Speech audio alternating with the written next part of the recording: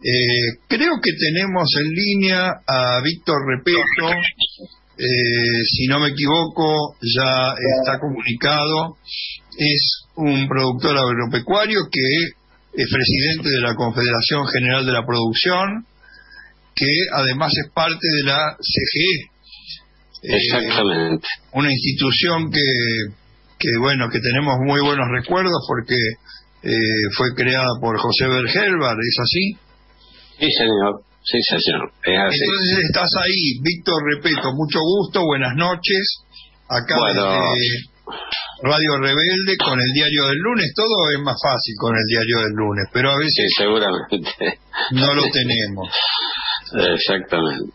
Víctor, Repeto, este- la producción de alimentos es uno de los temas reiterados en las preocupaciones de, de los argentinos, de de quienes luchamos por, por una Argentina con mejor distribución, con, con una situación para los más humildes de acceder a una buena alimentación.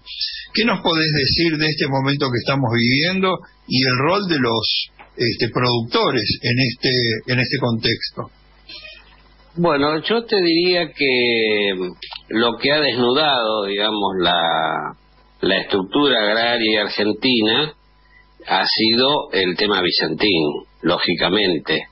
Este, las grandes eh, multinacionales este, tenían de alguna manera mayores controles con sus clientes, con los productores.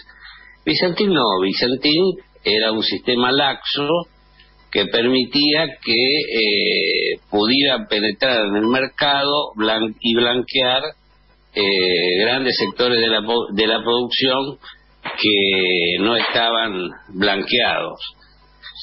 Este, se produce la quiebra de ellos, de, tres o cuatro este, acopiadores también muy grandes y, y desnuda el modelo neoliberal en el sistema de producción agropecuaria de la Argentina. Este, la sociedad argentina, después de la década del 90, cuando el neoliberalismo... Contanos un poco lo de Vicentín y cuál es el rol de, de esta empresa en la formación de precios para los alimentos. Bueno, eh, Vicentín, este, eh, antes que nada te quiero decir una cosa. Nosotros, como Confederación General de la Producción, estamos presentados como amicus curiae en el juzgado de Rafaela, cosa que no lo hemos ni siquiera dado a difundir en, ningún lado, pero estamos trabajando profundamente con todos los sectores que han sido perjudicados, acopiadores de granos, productores, cooperativas, este, hemos tenido ya varias reuniones en Banco Nación, el propio Estado argentino. Este, o sea que tenemos una visión completa en los sindicatos también, en los sindicatos aceiteros este, los trabajadores este, en, Reconquista. Eh, realmente lo de Vicentín es una cosa eh, gravísima para fundamentalmente para las provincias centrales eh, ha sido una bomba neutrónica que ha destruido gran parte de la economía este mm, yo te diría que lo de Vicentín está grave a peor pero no solamente es Vicentín, es Sancor también. En Sancor ha habido un planteo de prácticamente decir, hubo este, en la época de Néstor la posibilidad de recuperar Sancor y se hizo una, un buen acuerdo, un excelente acuerdo con, con la República Bolivariana de Venezuela que permitió una capitalización de Sancor ya que eh, las exportaciones que se hacían a Venezuela no pagaban el 5% de retenciones que se hacía la leche en polvo, lo cual ese 5% eh, iba directamente a los fondos de Sancor para recuperar la empresa. Y se recuperó.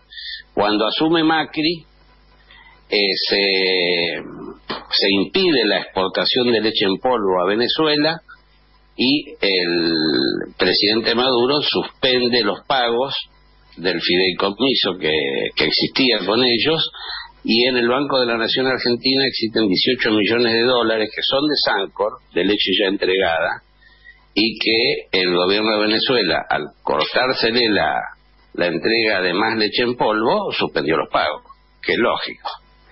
Este, lo que se está haciendo ahora no está bien, pero bueno, eh, son, yo no voy a eh, sacar una sola crítica hacia la institucionalidad de nuestro gobierno porque lo otro es peor.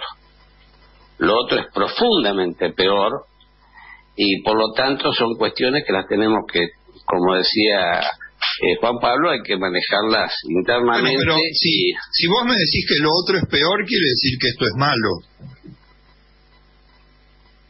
No, no, no, es lo que podemos estar haciendo. Ah, bueno, hay que ver que la digo porque la verdad no, que no, no, no. Este, acá estamos hablando, no nos escucha nadie. Mira, estamos los los cuatro.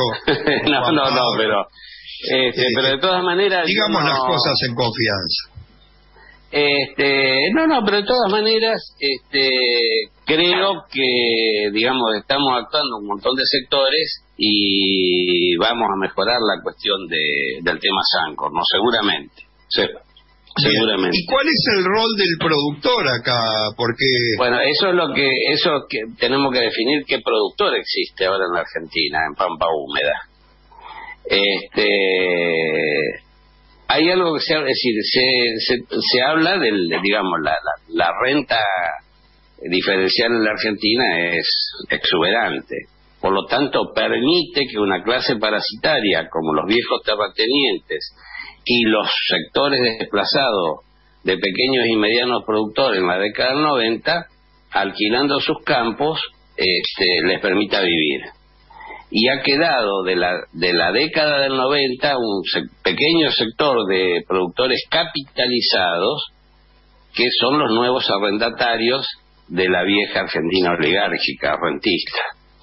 Este, pero acá se obvia, ese, no se no se dice de que eso existe porque fueron desplazados los pequeños y medianos productores que Perón hizo propietarios a través de la ley 13246 de, de contrato de arrendamiento y de la primera disposición que tomó eh, la revolución del 4 de junio del 43, que fue el congelamiento de los alquileres urbanos y rurales, lo cual permitió que la tierra dejara de ser un bien de renta para transformarse en un bien de producción. Por lo tanto, los precios de esa tierra bajaron y permitió, con una política activa de parte del Estado, que eh, 60.000 productores en la pampa húmeda argentina se hicieran propietarios de la tierra.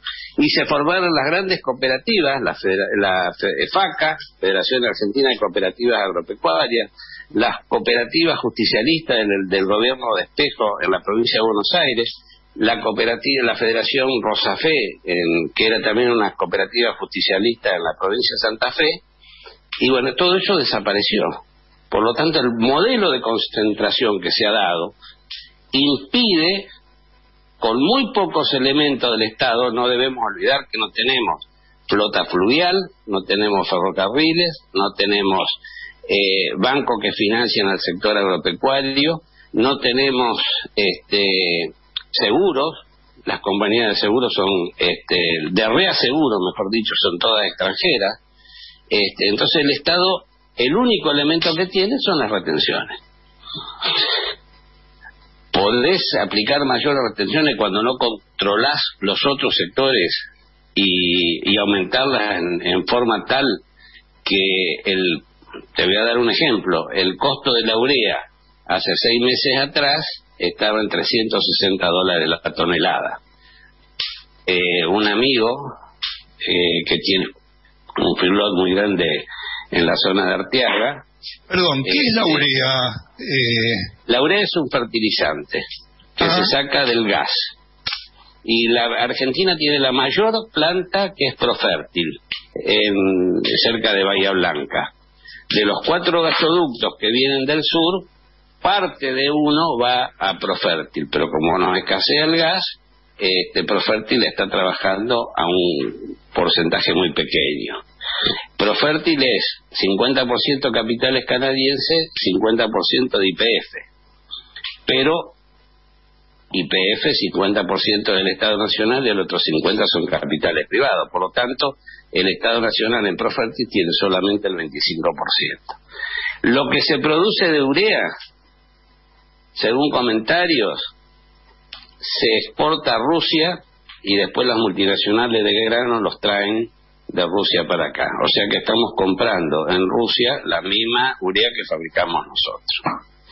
Porque esperemos, que con vaca muerta y el gasoducto Néstor es sumamente importante eso es sumamente importante porque el, el gasoducto que viene del sur a Saliqueló lo podemos eh, digamos lo que viene de vaca muerta a Saliqueló lo podemos invertir y mandar el gas que, que llega del sur este pasarlo a, a Profértil para producir y exportar urea, que es una forma también de agregar valor agregado al gas natural. Eh, Juan Pablo, si querés hacer alguna eh, pregunta, un, par de en, en, dos minutos ya tenemos que estar cerrando para pasar la pausa.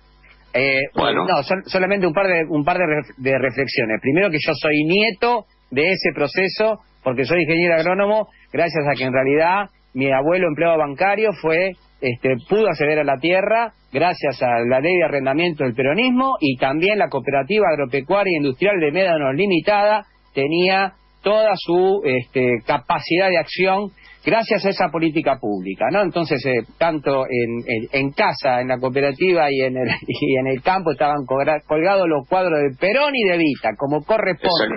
Y muchos productores se olvidan de que pudieron acceder a la tierra justamente gracias a esa política pública. Precisamente el, el, el, digamos, lo que nos la reflexión es cuánto todavía falta para hacer en términos de posicionamiento político para avanzar en aquellos temas que pensamos que no podemos avanzar y si no avanzamos no vamos a poder resolver eh, nosotros desde desde la CGP estamos armando un equipo multi este, de distintos sectores de la universidad, de la Bolsa de Comercio de Rosario. La mentalidad de la gente de la Bolsa de Comercio de Rosario ha cambiado porque el 80% de los acopiadores fueron eh, defraudados por Vicentín y las otras. O sea que hay un cambio realmente copernicano en la posición ideológica de los sectores granarios. Está muy bueno. Porque es un ataque al capital nacional, es decir, el avance del capital extranjero ha sido tan furibundo que está siendo atacado todos los resortes de la economía argentina. Acá no se salva a nadie si esto sigue así.